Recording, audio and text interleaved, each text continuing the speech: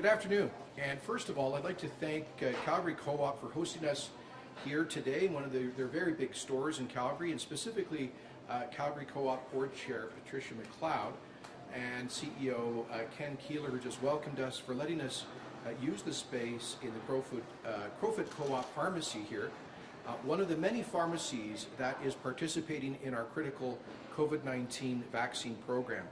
I'm joined here by Health Minister Tyler Shandro, Finance Minister Travis Toews, and AHS President Verna Yu to talk about but what Budget 2021 means for healthcare in Alberta.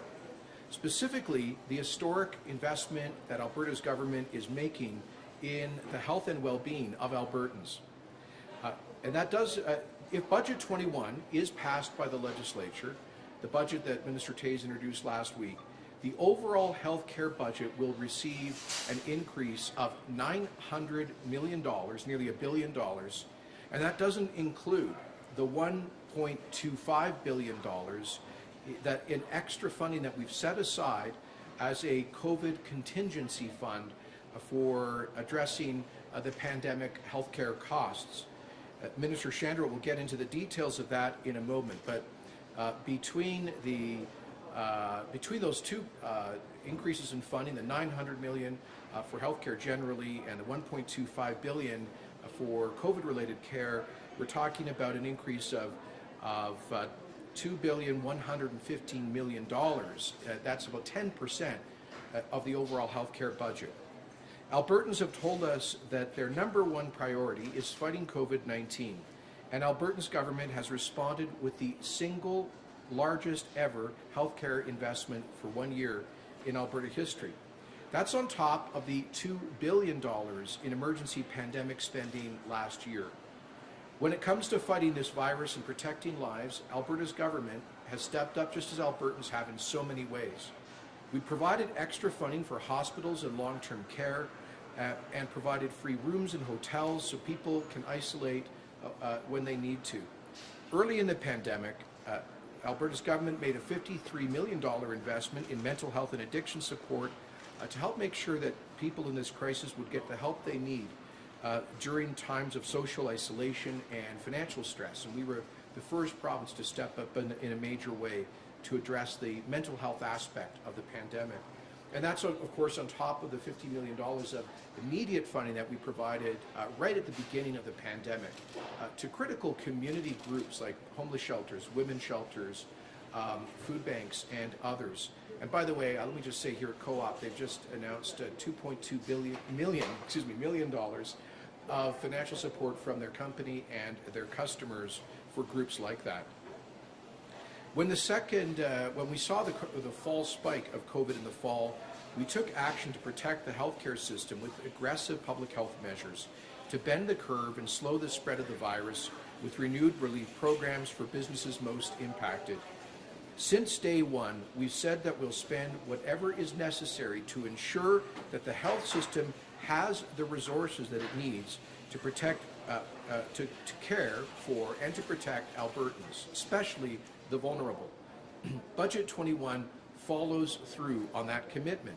It strikes a thoughtful balance between investing in healthcare to protect lives through, throughout the pandemic, while uh, investing in uh, protecting livelihoods, uh, preparing us for the recovery that will accelerate once mass immunization is complete. And I want to remind people, the only thing standing up between us and that mass immunization and greater freedom and getting back to normal is the federal government getting us uh, doses so that we can inoculate Albertans with. That is the critical central issue right now. And we're not going to let them get away with a lack of accountability for Canada being the 44th in the world now on per capita inoculations. It's not acceptable for a country of Canada's stature uh, and size and sophistication. But here we are, and, and we, we cannot wait to get uh, uh, as soon as possible large supplies of doses so that pharmacies like the co-op one behind me can start um, delivering those vaccines to save lives and, and get us back to normal. We're keeping our promise to prioritize healthcare funding and ensure Albertans continue to have access to quality and sustainable healthcare. A year into this pandemic, and it's just, I think, my big uh, revelation about how bad this was going to be was a year ago this week. A year into this, I don't need to tell hardworking Albertans that the effects of COVID 19 are far reaching and long lasting. We all feel it every day. Though some days it may feel like this pandemic may never end, things will get better.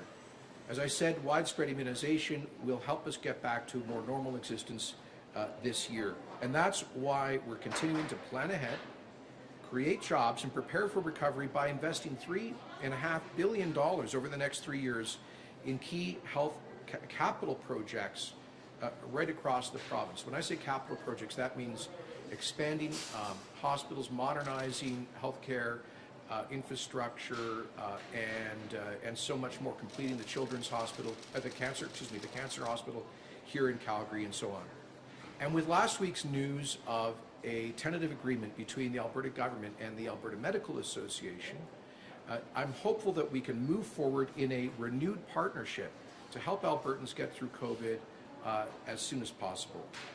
We know there's a, a lot more work to do, and the next year will be key in determining how we emerge. Budget 2021 is a clear acknowledgement that Alberta's government will continue to do what's needed to protect lives and livelihoods. That's been our goal since day one. Now I'll invite uh, Minister Shandro uh, to fill you in on some of the details.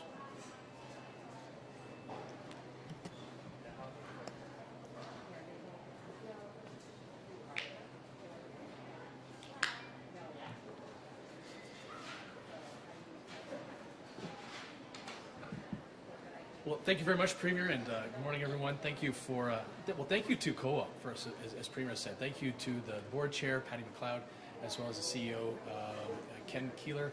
And uh, thank you to all the staff as well who've joined us here today to, to watch. Thanks for letting us uh, have our announcement here today. Uh, good afternoon, everyone. Uh, pleased to uh, provide additional details about the important funding our government has dedicated to our ongoing response to, uh, to COVID. And as Alberta's healthcare system continues to be a leader in its response to the pandemic, it will remain under pressure until widespread vaccination has been completed, as Premier said. And that means that we'll continue to adapt, we'll continue to adjust over the coming months.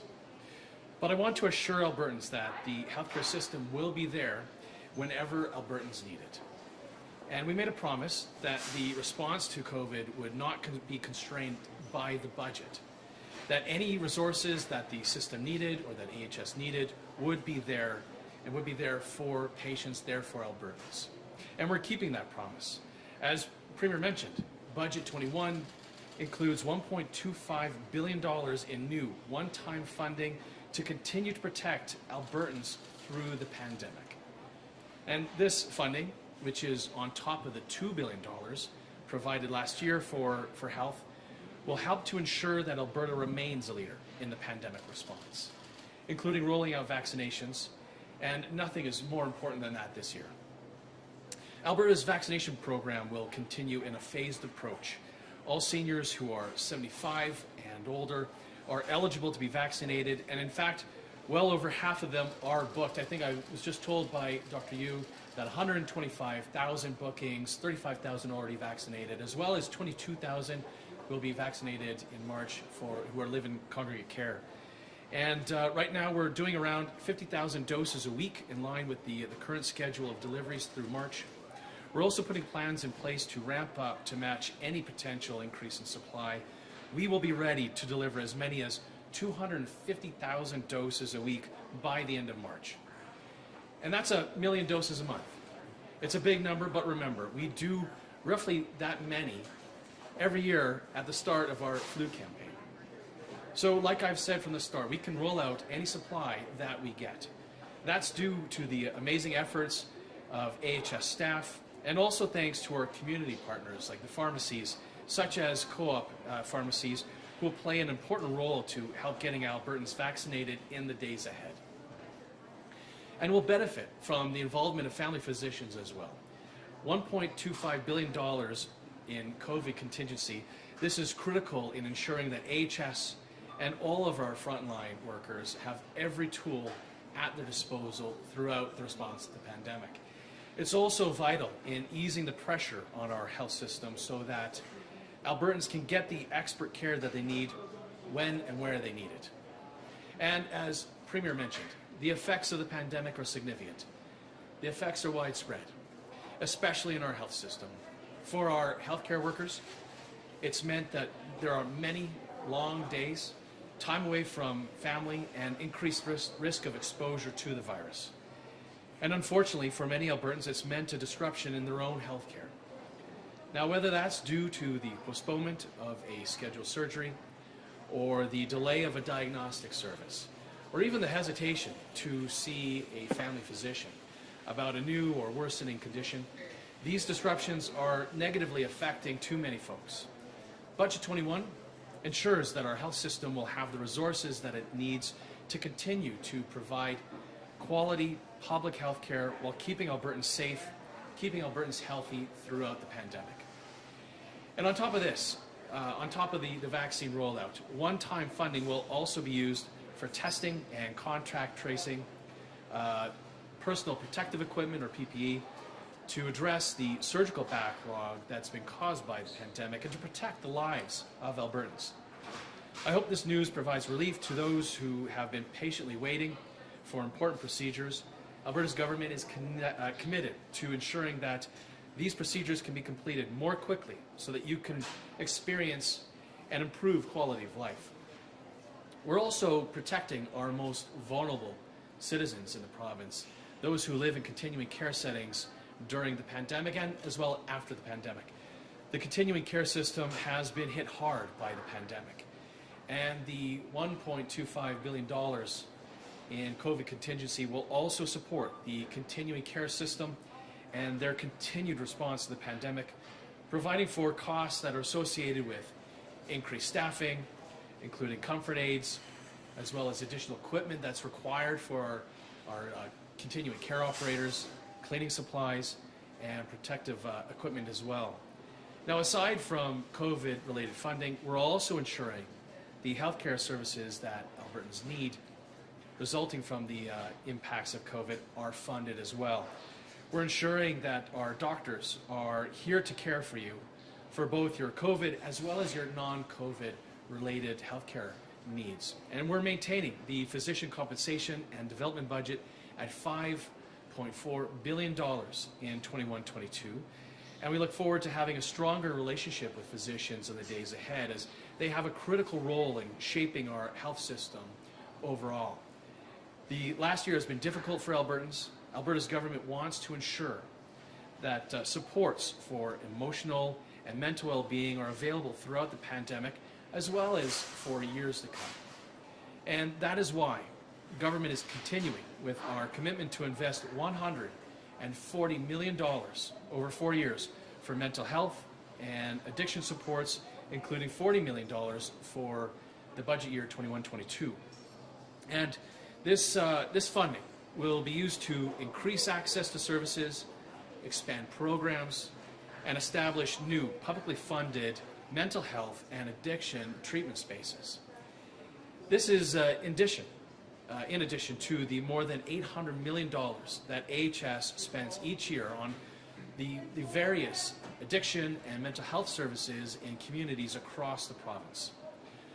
Further, government is investing $34 million in 21-22 for the Children's Health Supports Program. This is a new program that we are funding in Budget 21 to expand mental health and rehabilitation services for children and for youth. In a time of great concern and uncertainty, Albertans can take comfort to be sure of at least two things.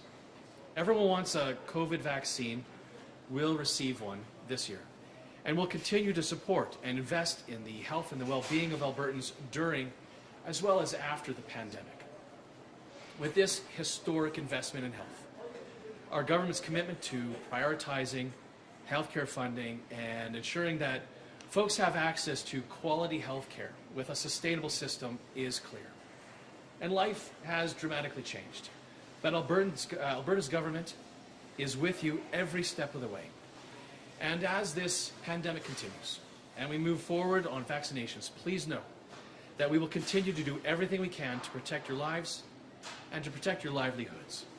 Thank you, and I'll now invite Minister Toews to, uh, to come and uh, say a few words.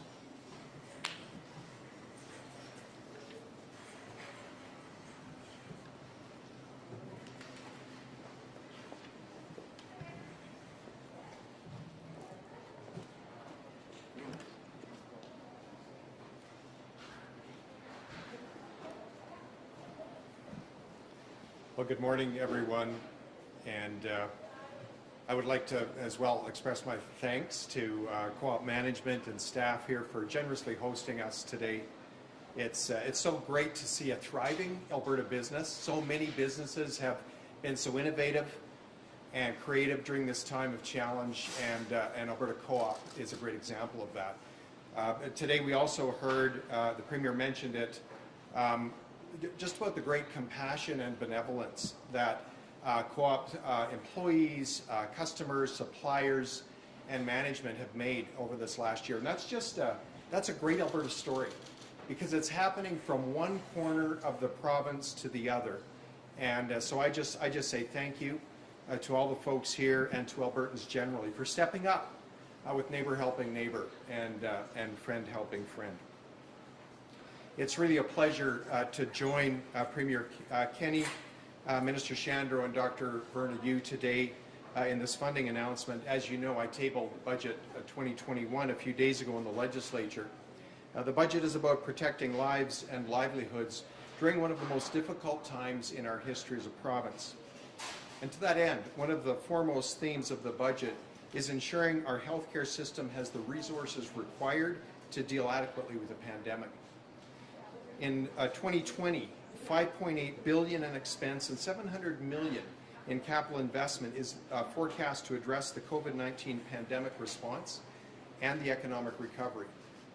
A further 3.1 billion is budgeted in uh, 2021 for economic recovery. And as both Premier and Minister Shandro have highlighted, the budget also includes an additional 1.25 billion to directly fight the pandemic. The funding in this envelope will be available as needed to ensure the health system is adequately resourced. As we've seen over the past year, the pandemic and its impacts are volatile and ever-changing, and exact needs and costs are often difficult to predict. With this $1.25 billion contingency, Alberta's government has taken a prudent approach that allows us to continue to fight the pandemic and address emerging priorities that may arise during these uncertain times. In addition to this and other commitments outlined by Minister Shandro, Budget 2021 also includes a three-year, $3.4 billion commitment for health-related capital projects and programs. This includes 2.2 billion for health facilities with 143 million for five new priority projects. Government will spend 1.5 billion over three years on strategic investments in key economic sectors. This funding will provide new training skills, development opportunities, and further new sector strategies in areas like technology, pharmaceutical and health sciences, aviation, energy, financial services, and of course agriculture. The government has also set aside an additional 500 million for further economic recovery initiatives that may be required throughout the year. While Alberta's government is investing in healthcare and preparing for recovery, it's also important to safeguard Alberta's fiscal future. Fiscal anchors will continue to inform our financial decisions, ensuring we're positioned for fiscal recovery. First, the government is living up to its commitment to keep Alberta's net debt below 30% of its gross domestic uh, product, or GDP. Second, the government is committed and determined to deliver services most cost effectively, given that the MacKinnon panel pointed out that Alberta has historically spent more than other provinces. And third, the government remains committed to balancing the budget. We will set a clear time frame for getting back to balance once the pandemic is over and we have additional economic clarity. The Government of Alberta is laser focused on continuing to fight the pandemic, positioning the province for economic recovery and growth, and delivering government services most efficiently. We're entering the second year of COVID-19, and our province continues to face down the pandemic and the economic downturn. Budget 2021 was developed in response to these challenges. It's a plan that will see Alberta past its current crisis by focusing on what matters most, health and jobs. With that, I would like to invite Dr. Yu uh, to make a few comments.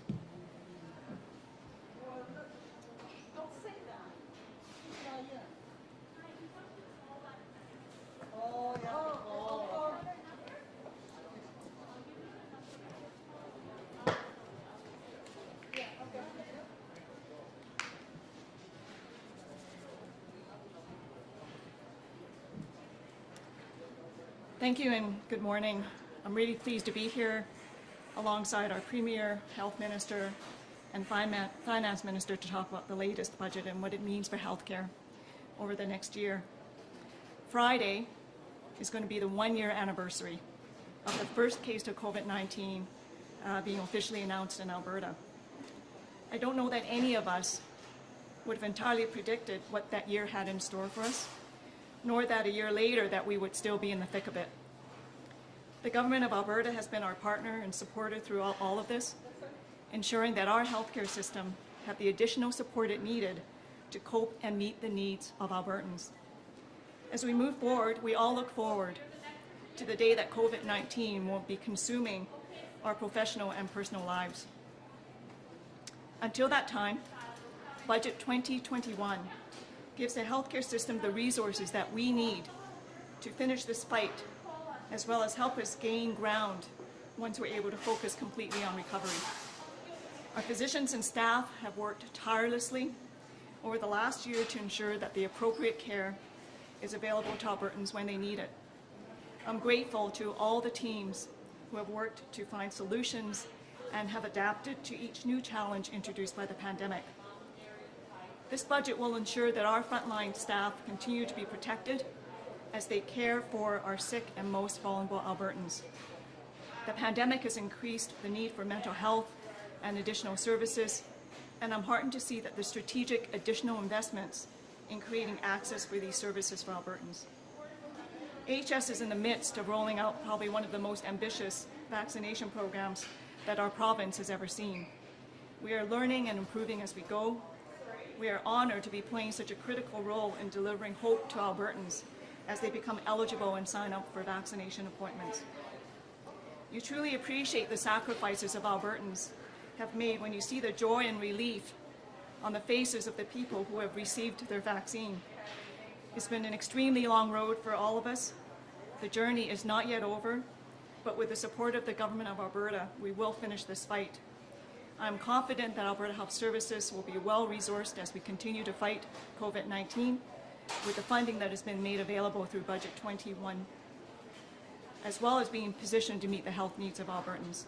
So thank you very much, Premier, uh, to our Health Minister and to our Finance Minister for ensuring that we continue delivering high-quality patient and safe care. Thank you. Thanks, Dr. Yu. Now we'll go to the phone lines. Just to get to as many questions as possible, we just ask that you limit yourself to one question. Operator, can you please put through our first caller? First is Bill Fortier with CTV News. Go ahead, Bill. Hi, good morning. I have that. I do have two questions. I'll, I'll be brief. Um, for the health minister and potentially for the premier, if he, if he wishes to weigh in. Uh, first of all, there's confusion from gym uh, members and owners about what's high intensity and what's low intensity. Um, you know, you can't run, but you can walk. Or can you jog? Can you power walk? Who makes the calls, and what happens if a, a gym employee and a member disagree on that? I'm looking for some clarification there. The second one is you're standing in a store by a pharmacy that appears to be open. The public health order you brought in says we all have to wear masks in a business like that. Why are you all taking yours off to speak? Thanks. Um, well, uh, we're, we're taking with the mask when we're at the podium uh, within the, uh, the requirements of what's uh, or what's allowed at, in a workplace setting when you're allowed to sit down at your desk. We're interpreting that with the podium so that people can understand us when we're speaking at the microphone. Uh, but all of us, if you were able to, see everybody else around us right now, does have masks on. So obviously, all of us are complying with that, that requirement of the, uh, the public health restrictions for masks. Um, good question about the, the gyms. Your first question, Bill. And um, look, the, the feedback that we had from uh, the gym owners and those in the fitness sector was for us to make it more simple. Uh, uh, for, for what is, is allowed and what isn't allowed, and to try and, and, make us more aligned with what's happening in BC. So we heard that feedback, and that's why there is the distinction between high and low. You asked a really good question. Who decides that? Well, it is going to be the gym owners who are going to be able to work with their patrons and be able to interpret that. Uh, the definition for intensity, high intensity low intensity, same as BC's. Um, I think it says whether there's a, a significant increase in your respiration. Uh, here's how I interpret it. If you're, you're, out of breath, it's high intensity. If you're not out of breath, it's, uh, it's low intensity. So there's an opportunity for our gyms in step two for them to be able to continue to move forward with more activities in their their um, their businesses, for more patrons to be able to do more things, and uh, look at still no high intensity fitness like spin classes, but lots of um, group low intensity um, activities that can be done. A lot of uh, low intensity um, cardio can be done on machine. A lot of low intensity weightlifting as well. We're asking people to keep themselves safe keep everybody else around them safe, keep the patrons safe. Everybody wants that. The gym owners want that as well. They were looking for more to be done, more to be allowed in their facilities, and that's exactly what we did, hearing that feedback from them. Uh, else?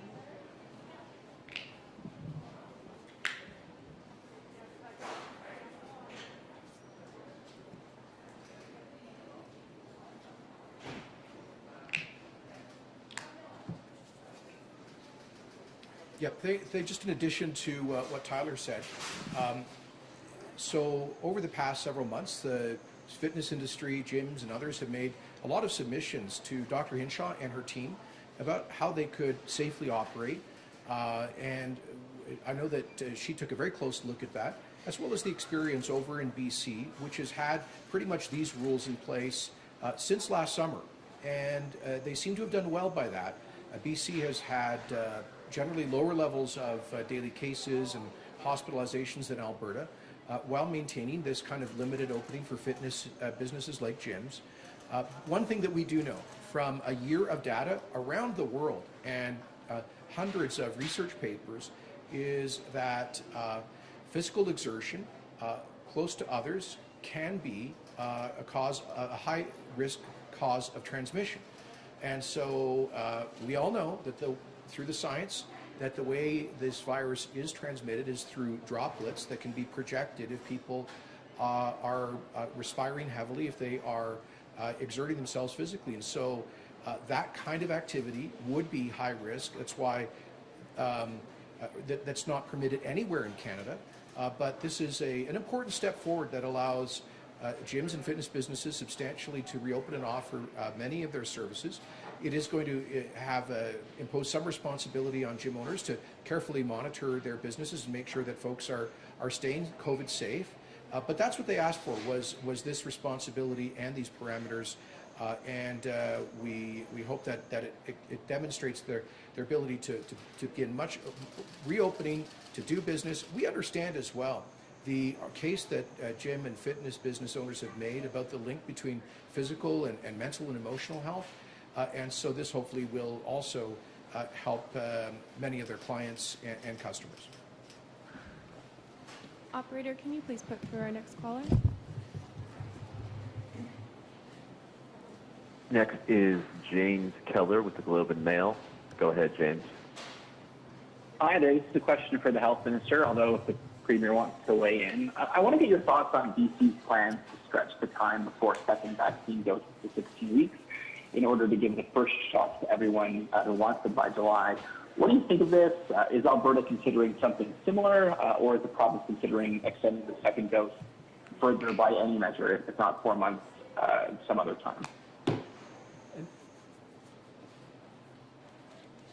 And sorry, James, uh, do you mind, maybe just because of the angle uh, where I, I, was standing when I, you first started the question, do you mind repeating that? Oh, sure. Yeah, I'm hoping to get your thoughts on uh, BC's plans to stretch the time uh, before the second vaccine dose to 16 weeks as part of a plan to give everyone their first shot by July. So I'm wondering what, what you think about this, and is Alberta considering uh, anything similar?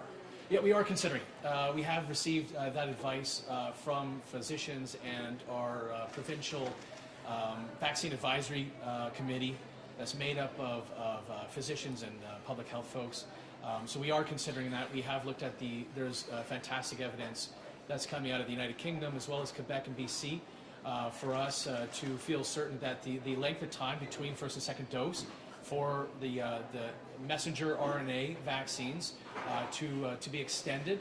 And so that, that is something we are going to, to consider. Now, what the exact period of time is going to be is still to be decided. We'll be announcing it soon, but we will uh, be looking at uh, having that length of time between first and second extended. It's also going to help make sure that as we have um, Pfizer vaccines between 50, 55,000 uh, coming per week uh, in the, the month of March, and as well as uh, more AstraZeneca, um, or AstraZeneca finally coming to, to Alberta, is going to give us a, an opportunity to get more people vaccinated more quickly, which is going to be fantastic news for Albertans.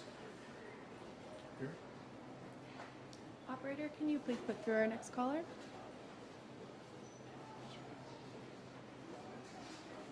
Next is Dean Bennett with the Canadian Press. Go ahead, Dean. Thanks. Uh, Minister Shandro, my question follows up a little bit on James Keller's. You remember la- late last year, the uh, AHS was holding back some vaccines for second doses, and, and uh, you urged them to just give the first doses to everybody that we can. And then, of course, we had a bit of a, a shortage when the when the feds couldn't deliver. So my question is, this time around, what is your vaccine policy? Are you trying to get as many first doses out and don't hold very many uh, for second, or do you want to still have a, a, a, a secure selection of second doses available? Uh, thanks, Dean. And it is going to depend for each of these, these vaccines themselves as well.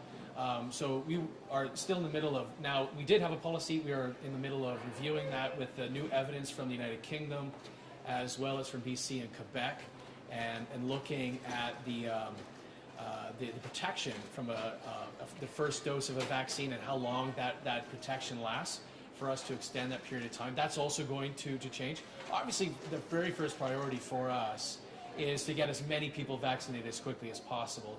I think you asked that question in particular. So absolutely, that's that's the first priority for us. Um, and uh, we have had to, to make some considerations, not knowing the predictability and the stability of the delivery of vaccines, seeing the rug pulled out from under us in February, uh, made us um, have to, to change that policy for February at least. But um, as we do make this announcement and a, and a, change in the length of time between first and second dose, um, is going to give us an opportunity to review that policy, uh, which we're, we'll be making. Um, uh, we'll be making an announcement on, on that policy as well at the same time. Thank you, Dean. Operator, can you please put through our next caller? Next is Julia Wong with Global News. Go ahead, Julia. Hi, this question is also for the health minister, but if the premier wants to chime in, that'd be great. What is the status of phase two group B, which is those with underlying health conditions? What types of conditions are experts looking at, and when can Albertans expect a decision on which conditions have been identified? Uh, thank you. So the uh, the public health folks are still in the process of reviewing what uh, the recommendation should be. Obviously, the focus is going to be on the most vulnerable. So it's uh, there's going to be a primary focus on the, the types of conditions that can lead to a comorbidity. Um, and uh, so, obviously, people who have hypertension and those types of concerns that could make them vulnerable to a severe outcome like hospitalization or death is going to be the number one consideration for us. Um, we've received a lot of feedback as well, and a lot of uh, correspondence. Um, a lot of folks who have sometimes a rare disease, um, for us to, to make sure that that is considered so sometimes the, the parameters of, of what's included in, in 2B um, may, may try to be more general, but we will also try to have considerations for people who have something very specific that may not be included or there may be uh, some lack of clarity in the, the, general principles of the, what's included in 2B. And we'll have to work with those folks and, uh, and make sure that Dr. Hinshaw's office is uh, understanding um, all of their advocacy as well. So we'll, we'll hopefully have those um, the, the announcement um, and, and that information provided to, to those patients as quickly as possible. Operator, can you please put through our next caller? Next is Scott Dippel CBC. Go ahead, Scott. Yes, I have a question for either the health minister or to the head of AHS. Uh, given that there are currently no vaccination clinics uh, and not even any drugstores in the far northeast end of Calgary. Just wondering if you can shed any light on the plan to get COVID-19 vaccines closer to the thousands of people who live in that part of Calgary. Well, Dr. Yiu, do you mind, mind answering that? What's uh, available to, to folks who are in the Northeast? And um, um, obviously, we do want to expand, um, before I do pass it on to Dr. Yiu, for our, our community pharmacies and family physicians. We've had an expression of interest go out uh, for family physicians, and um, so we're, we're continuing to work with the Alberta Medical Association and those family physicians to onboard the, the physicians who uh, are interested in, in, being able to have the capacity for them to be able to um, help us with the administration of vaccines in the community, as well as the 102 pharmacies that we started off with, um, partnering with and getting uh, the highest volumes out right out right away. We are going to continue to expand from that 102 to having more and more pharmacies, both those who are uh, independent and those who are uh, pharmacies within a large chain, so that they, they can all have an opportunity to help us get as many vaccines out the door as we can, understanding that uh, you know, we want to, to be able to give out as many vaccines as quickly as we give out the, the flu vaccine, which is a million doses in a month. So, but Dr. Yiu, for the uh, opportunities in HS.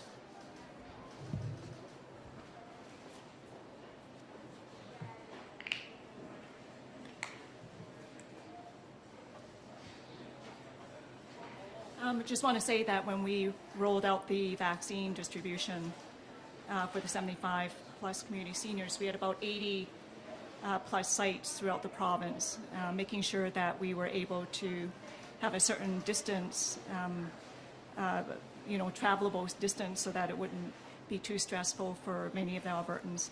Uh, to be honest, I can't be very uh, sure about the specific question about Northeast Calgary. We can always get you back that information about what we're doing to try to bridge some of the uh, gaps. Uh, the other thing I just want to highlight is, is that we actually have been also working, obviously, with the Ministry of Health to look at the also the distribution from all the pharmacies, all uh, several hundred of them, and to make sure that we also don't have gaps uh, between the pharmacies and ourselves. And then when the physicians are brought on board, that will add another uh, component to that actually will ensure that I would say most parts of the provinces will be very well served. Operator, can you please put through? Thank you. Or sorry, I'll just note that we have time for two more questions. Um, operator, can you please put through our next caller? Next is Rick Bell with the Calgary Sun. Go ahead, Rick. Uh, Good morning. Uh, A question for the Premier. It's kind of a post-COVID question. Um, And it's on, and it's on the budget. And I know the minister, finance minister is there, and he's already sort of answered it, but it's still not clear to me. So perhaps you could uh, help. Um, I understand the government's position is right now, in the middle of the pandemic, is not the time to reach into taxpayer wallets and take more money. That is to say, the question of more taxes is just off the table during the pandemic. I understand that. So right now, that's not going to happen. But I think a lot of people are interested in what happens afterwards. Why is it the case that your government does not just say, no, we are not going to have a sales tax. We are not going to put a sales tax on the referendum. We are just not going to have anything to do with the sales tax from our end or any other major tax like a healthcare premium or such things. Why is that just not ruled out? Not not now. It's ruled out for now. But why is it all? Why is it not ruled out for 2022 or 2023 or 2024 or whenever? Why why can you not take that position? And that's for the Premier. Sure. And Minister Toews, if you want to answer Sure. as well. Well, Thanks for the good question, Rick. First of all, uh, we've been clear that now would be the worst time to uh, dig government's hand deeper into the pockets of Albertans at a time of great financial and economic uh, adversity and uncertainty. Uh, we've also been clear that uh, this government will always defend and respect the Taxpayer Protection Act, which uh, I successfully lobbied Ralph Klein's government to bring in back in 1995. It says that Albertans, uh, not the government, but Albertans, through a direct referendum vote, uh, have the final say on any potential future sales tax. So Albertans are the boss when it comes to that. Uh, when you ask uh, about broader future tax policy, we did say in our platform that we were elected on that we would have a uh, an expert panel take a look at Alberta's tax mix uh, to see if it's the best uh, tax policy for job creation and for to support economic growth. We will keep that commitment with a review of Alberta's tax policy. As you know, the previous government made us uh, took away a lot of our Alberta advantage when they raised the top marginal income tax rate by 50%. They raised taxes on job creating businesses by 20% and hammered consumers. Rick, I would remind you that this government, as its very first act, uh, delivered the largest tax relief in Alberta's history uh, by eliminating uh, the $2 billion carbon tax. So we've already delivered, so, and we've also uh, rolled back uh, the job killing hike in taxes on, on businesses. So we've, this is a government, you're talking about tax increases. This is a government that has substantially lowered the tax burden on Albertans. And we want taxes to be as low as they can, not just now, but five years from now and 10 years from now, now and in the future. Uh, this is the former uh, head of the Taxpayers Federation here. And so uh, one of our uh, uh, one of our core principles is uh, more money for taxpayers and, and, and government operating more efficiently. Uh, and that's really the, the next big challenge in front of us, which is coping, obviously coping with COVID and the pandemic, the recession, and while at the same time uh, operating more efficiently. And, and, here's the bottom line. When we get to, uh, based on Travis's budget of last week, we get to 2023, around the time of, of uh, the next provincial election, uh, we we currently expect to be at a, have a deficit in the range of, of $8 billion. And by that point, by that point, to have uh, found savings through some really tough decisions uh, that will bring us to the average spending amongst major Canadian provinces. Then Albertans are going to have to have a debate. Okay, we brought our spending down. We've made some difficult decisions, some cuts, a lot of cuts. We've, we've saved seven or eight billion dollars from where it otherwise would have been. But we still have, if we still have at that point an eight billion dollar gap, then Albertans are going to have to tell their next government, give their, ne- their next government their marching orders. Do you want more spending cuts? Or do you want to keep running deficits forever? Or do we want to find a way to, to address that through, uh, through revenue as well, or some mix of the above?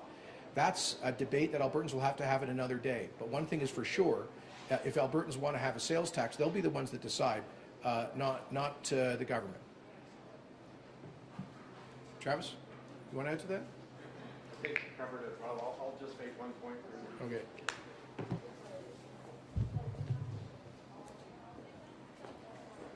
Well, Rick, I, I appreciate that question. Uh, what we're doing right now, we're, we're managing the bottom half of the income statement. We're managing what we can manage, and that's ensuring health is adequately resourced. That's about positioning the province for economic uh, recovery and growth, and that's about delivering uh, government services most efficiently. And when we get to 23, 24, when we've reached a very defensible, uh, efficient uh, delivery of government services metric, uh, at that point in time, we will have done the heavy lifting to position this province uh, for fiscal sustainability. And again, as the Premier noted, there's a sequencing here. We're focusing on what we need to focus on today. Operator, can you please put through our final call? Final call, excuse me, final caller is Charlotte Dumoulin with Radio Canada Edmonton. Go ahead. Oui, bonjour, monsieur. Euh, Jason Kenny. J'avais une question pour vous concernant vos critiques face au gouvernement euh, fédéral. Vous dites que c'est euh, le seul obstacle à la campagne de vaccination en Alberta.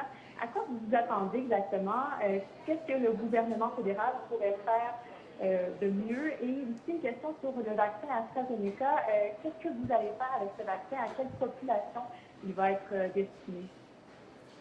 Merci. For Uh, just to translate uh, for those uh, in English here, it's a question about federal vaccine delivery and procurement. And alors, évidemment, la performance du gouvernement fédéral quant au vaccin est un échec total. Le Canada est pire que le quatrième au monde per capita dans l'accès au vaccin de COVID-19. excusez-moi, c'est pas quatrième. Nous sommes le 40e nous sommes le 40e au monde quant au accès au vaccin de COVID-19. Ça, c'est inacceptable aux Canadiens. Et euh, nous voyons que l'Israël a presque 90% de leur population qui ont été vaccinés. Le Royaume-Uni a, plus de presque 20% de leur population.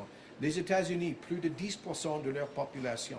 Le Canada, 4% de notre population. Ce n'est pas acceptable.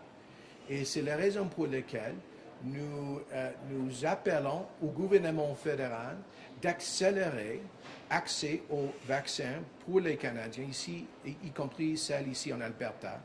On est prêt, prêt d'administrer centaines euh, de milliers de doses euh, par semaine avec les pharmacies, avec les médecins euh, et directement du système de santé. Mais on n'a pas besoin des doses. Mais on n'a pas les doses. On n'a pas les doses. Et alors, c'est clair à moi que le fédéral a été trop tôt pour, confirmer les contrats pour obtenir les vaccins des grands producteurs, des grandes sociétés pharmaceutiques. Et euh, deuxièmement, c'est clair qu'il y a une, sorte de nationalisme euh, dans l'industrie pharmaceutique, euh, en Europe et aux États-Unis. Mais le Canada aura, prévenu cette situation-là l'année dernière avec l'accélération des efforts de manufacturier les, euh, les vaccins ici au Canada.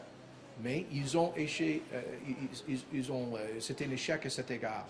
C'est les raisons pour lesquelles l'Alber- l'Alberta, avec l'Ontario, co-préside un comité des provinces pour trouver les opportunités de produire les vaccins ici domestiquement au Canada.